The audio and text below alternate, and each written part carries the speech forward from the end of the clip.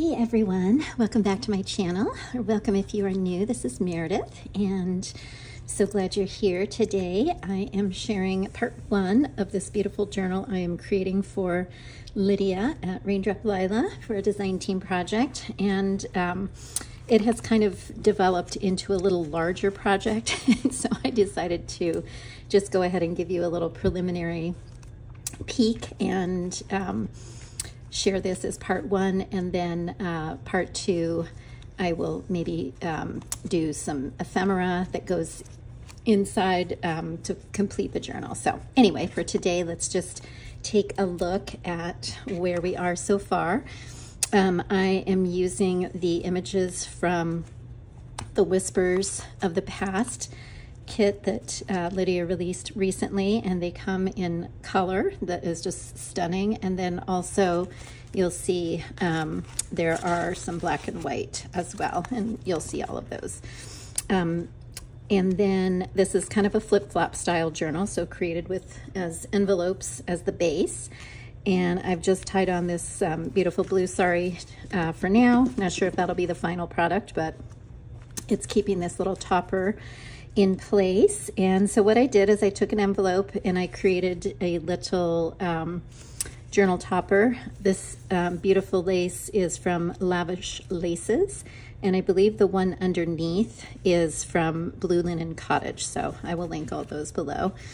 So this is kind of a reversible uh, style topper. If you like the color, you can have that on top. And if you prefer the black and white, you can have it either way. And I think it's just as gorgeous with both of them. So I wanted to incorporate both the color and the black and white. So here's just kind of a little tuck spot on the front and I just popped in a little folded uh, secret journaling spot there. And then as you flip over, I have another one behind this beautiful girl. And this is actually on some cardstock and it flips out and I've tucked in a few um, of my beautiful vintage uh, French uh, papers. So that just tucks in here. And then in the envelope pocket, I have another little fold out. This is um, paper from the beautiful Camille kit, and it is just stunning. So I love it. Um, most of the papers that I used for the base of the journal are um, from her recent uh, pretty blue background papers. And so I'll make sure all of that is listed below. So that's our little topper. And then the first envelope is a flip out. And I created this fun little cluster down here with some fabrics, scraps that I've had forever from Lovely Lottie's. I think this might have come in a um, happy mail from my friend Marlene. And these um, tags are part of the uh, Pretty Blues kit. And then in here, I just tucked in some fun tickets. These are from my friend Gail. And this is the um, script and blossoms paper and I just reduced it. I printed two to a page so I could have a little bit smaller um, and then just some pretty blue background paper there. And then I just tucked in a little, a little music sheet. And so that gets tucked in here. And then as we flip over, oh, and this trim here is from Lavish Laces. I love that. It's kind of like a little micro pom-pom. Super cute. Okay. So flipping over, we have the black and white version. So see how I kind of mirrored that. And then here I just have a beautiful um, Italian Actually, no, this is French. This is from um, Jacqueline at Souvenir de la France. So many gorgeous uh, papers in her packets. And then another um, beautiful little sheet uh, from the Pretty Blue kit. And I just reduced that down. Actually, no, I think I cut, I trimmed this from the full page. So there's more that goes around it. So you have to, have to check all those out. So this is a little envelope tuck here. this is from the Pretty Blues kit. All right, so now we go to the beginning of the journal, and um, I have not sewn my signatures in yet, so I will just kind of give you a little mini flip of all the papers I've chosen. Here is uh, one of the tags from the uh, Blues kit, and I added this gorgeous um, trim on the bottom. This is from Lovely Lottie's. And I backed my tags with some of uh, the craft paper. And then in here, I have beautiful little document, super pretty. And then this is another um, document. I will list all these below because I, I literally cannot remember. I use so many different ones. I just kept checking out uh, Lidia's beautiful um, kits that have blue in them. Sorry, I just had to let my dog back in. And um, she has so many gorgeous, gorgeous kits with blue. So the first signature um, is a combination of printables and uh, beautiful French papers. This is a uh, receipt from, I think it had a date on it. Let me just look on the back. 1960 from Jacqueline. And then a little coffee dyed paper. This is um, some Swallow uh, document paper from the Swallows kit. And then in here, I got a beautiful pack that I ordered from Marriott, A Passion for Paper on Etsy. And she had these gorgeous little extras that she tucked in for me. And I love that um, coffee stained or tea stained doily. This little flip out and the rest of that book page. And then this is the other side of that gorgeous blue. So that will tuck in here. And I'm going to just take it out for right now for purposes of flip through.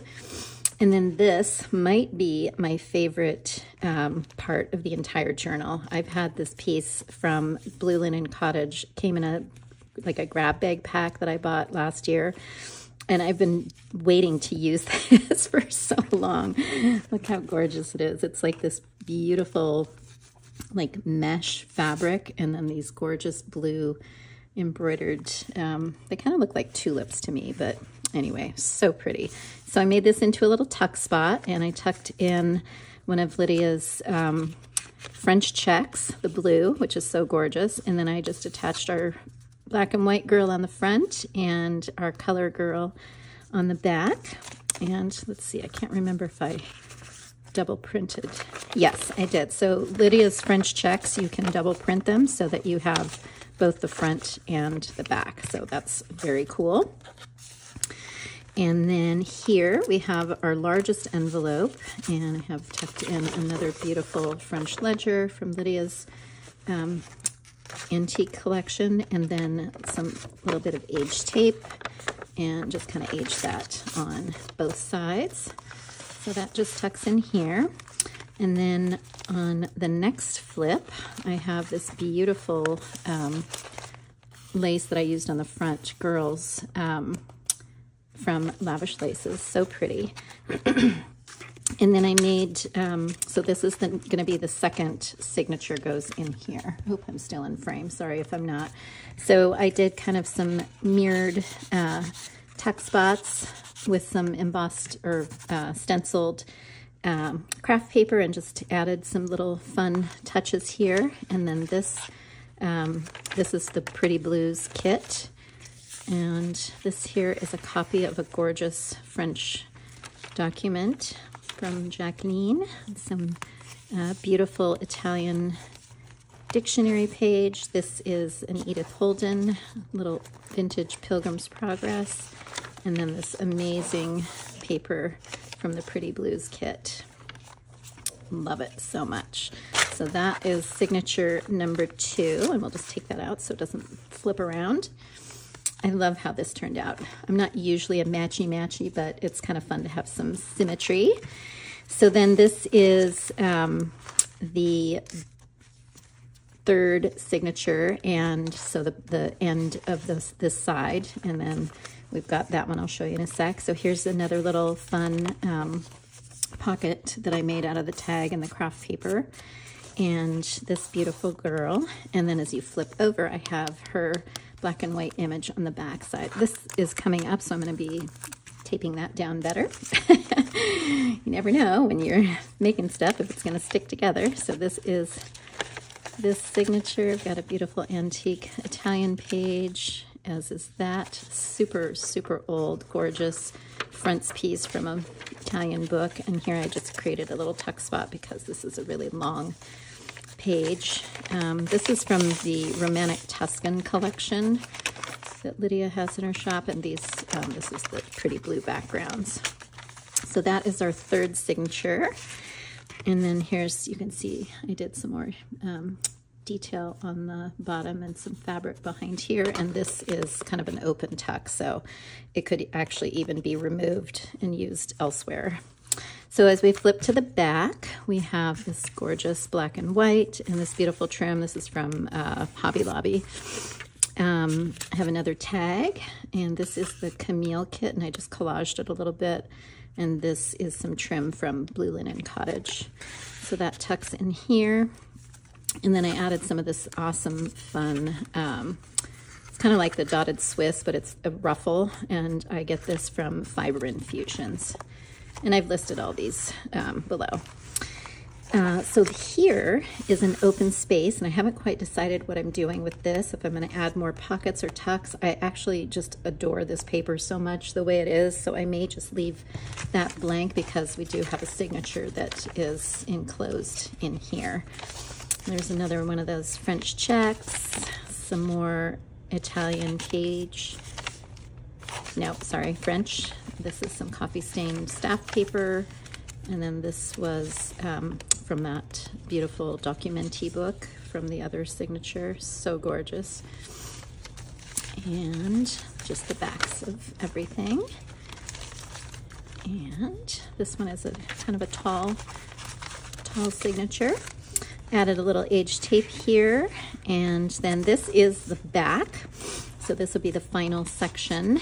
And um, we will have one more signature in here that I have not created yet, so I need to pick some papers for that. This is that gorgeous uh, embossing folder that I have. I will show you because I love it so much. So this is the mini version here. You get this on Amazon. Tim Holtz, it's like six bucks. And this is the larger version. And it's the 3D, um, whatever, impressions, I think it's called. Super fun, and I just love uh, how they look. And I did this on a piece of uh, file folder, so it's pretty sturdy. And then here's another one more little pocket with another beautiful uh, collage tag with that trim and some more um, craft paper and um, just little accents there. And then we flip back to the front. So this is where we're at right now. And I'm thinking that for part two, I will take you along with creating a few more um, embellishments and that final signature. And we'll do a final flip through um, probably midweek next week. So have an absolutely fabulous rest of your weekend. Thank you so much for joining me today, and I will see you soon. Take care. Bye.